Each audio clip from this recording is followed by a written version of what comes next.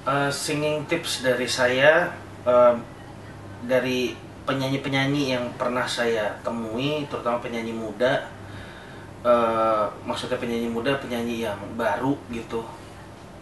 Banyak mereka yang kepikiran untuk uh, saat mereka perform dan saat mereka nyanyi, mereka kepikiran untuk gimana caranya sih buat supaya mereka bisa uh, improve, melakukan improvisasi yang yang keren lah menurut mereka. Justru kalau menurut saya dalam kita bernyanyi jangan langsung uh, tertuntut di dalam diri kita untuk kita bisa improve atau menyajikan improvisasi yang yang berlebihan. Justru kalau dari lagu yang kita nyanyikan kita udah merasa nyaman, kita udah menguasai, kita udah tahu meaning lagunya seperti apa, kita juga udah tahu uh, lalu lintas lagunya seperti apa. Dengan begitu juga kalau persiapannya udah maksimal kita akan bisa menyanyikan lagu yang kita nyanyiin tersebut dengan lebih dengan lebih jujur lebih apa adanya tanpa kita harus bisa eh tanpa kita harus kepikiran akan improvisasi yang yang berlebihan dan begitu.